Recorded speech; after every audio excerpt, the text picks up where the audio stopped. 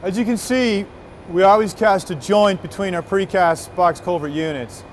Uh, the joint is both one end of the, of the culvert and the other end are cast with a certain profile when it's finished that when the units are actually slid together, they'll socket in to form that joint. Now the purpose of this joint principally is due to the fact that for transportation considerations, we can't cast a 20, 30 meter length of culvert clearly. So generally we're limited to a two or three meter, two to three meter length of box culvert that we can cast in one go. So the purpose, the main purpose of the joints is to allow for a shear connection between those individual two or three meter length units of the box culvert.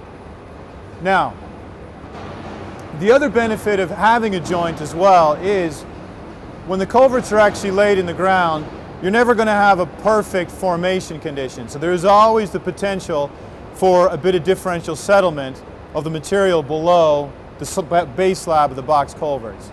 So the fact that we've got a joint that allows for rotation every couple of meters essentially minimizes or really eliminates the negative effects of that differential settlement.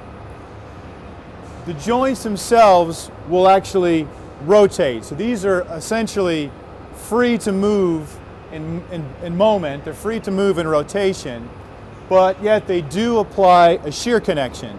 So when you do have differential settlement, one unit is free to rotate to the other to prevent moment and shear from developing in the unit, but yet you're not going to get one unit dropping relative to the other unit and creating a vertical gap. So that joint allows for the rotation due to differential settlement, yet keeps a clean surface, a clean line from one culvert unit to the next. And it should be noted as well too that the units will be sealed as well. The culvert, the joints will always be sealed in order to prevent ingress of water into the interior of the box culvert.